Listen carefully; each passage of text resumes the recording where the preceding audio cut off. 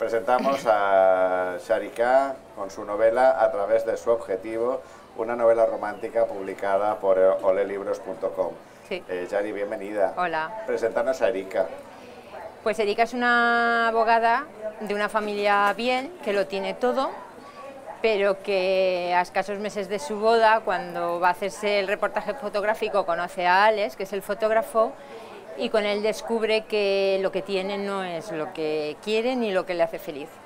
Y entonces decide luchar contra todo para encontrar su propia felicidad, que no está donde la gente quiere, quiere ponerla. Y está con Alex. Está la felicidad, para saber si está con Alex hay que leer el libro. Hay que leer el libro. Hay que leer el hay que libro, leer el porque pueden haber muchas vueltas por el camino. ¿Y cómo te surgió la historia? La historia me surgió a raíz de una canción. La canción empezaba con una chica en un día de lluvia que corría sin saber hacia dónde y en ese mismo momento supe que mi protagonista huía de algún sitio. Luego ya poco a poco fue formándose la historia y los personajes de ¿Y alrededor. cómo la fuiste formando y cómo la fuiste estructurando?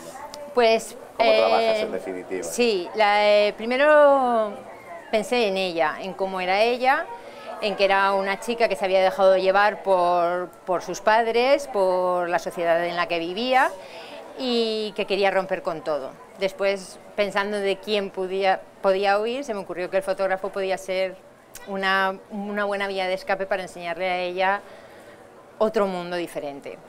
Después, a mitad de novela, los personajes mismos cambiaron el curso que yo tenía preparados para ellos Y se te fueron por y se me fueron de las manos y hicieron Sí, ya lo que quisieron. Los personajes siempre acaban Sí. dominando al narrador y el autor, ¿eh? Yo en mis dos novelas, la verdad es que así ha sido. Ah, Empezaste de una manera y sabes, no sabes al final.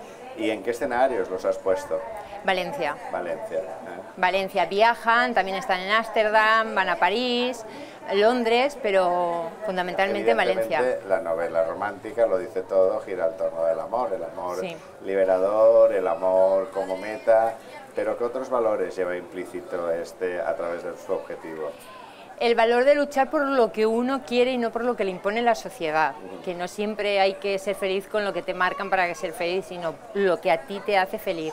El valor de la amistad, pues el amigo de ella es la que la acompaña en todo este camino y ahí también hay un valor muy grande, pero yo creo que el fundamental, el valor de uno mismo, creer en uno mismo y luchar por uno mismo, no dejarse llevar.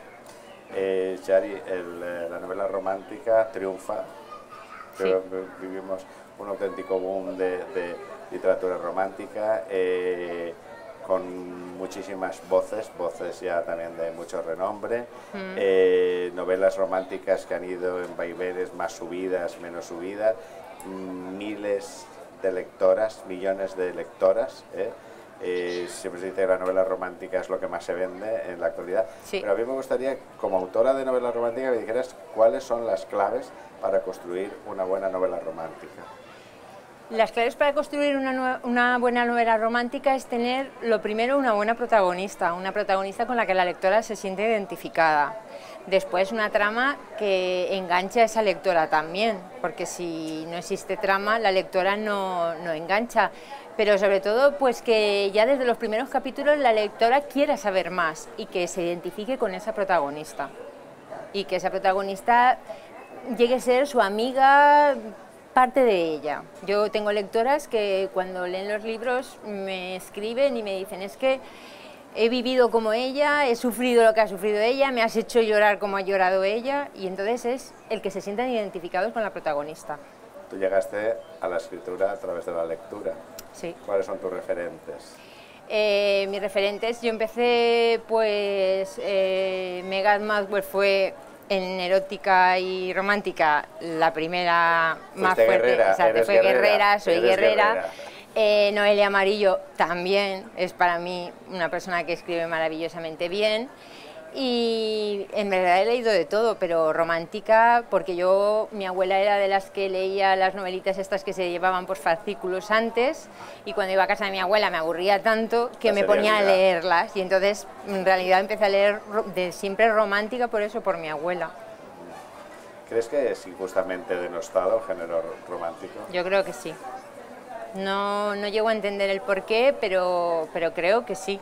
Parece que leer romántica es como no ser lector, como no leer. y yo creo que la novela romántica aporta mucho Y de hecho hay a la grandes persona. obras de la literatura Sí. que son novelas románticas. Sí, y en realidad en todo género yo creo que hay una historia de amor. hostia es novela romántica. Claro, pero no sé por qué este, esta clase de novela pues se menosprecia más, pero no debería de ser. Yo soy una de las que lucho porque de verdad la novela romántica tenga su sitio. Y ahí estáis haciendo un trabajo sí. estupendo.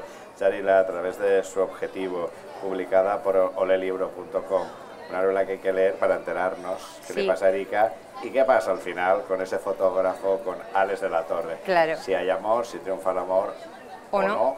Porque en la vida Hay que vivirla para saber lo que hay que pensar, claro, exacto. Chari, un placer hablar A contigo. Gracias vosotros. por haber traído esta novela aquí a la Feria del Libro. a vosotros. Gracias.